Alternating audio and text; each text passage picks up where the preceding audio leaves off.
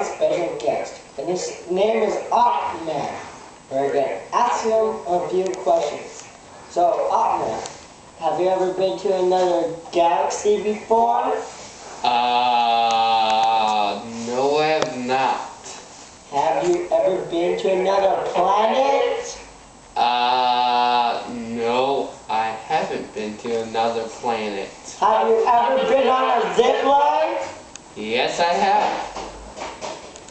Uh, what do you do for a living? Steal things.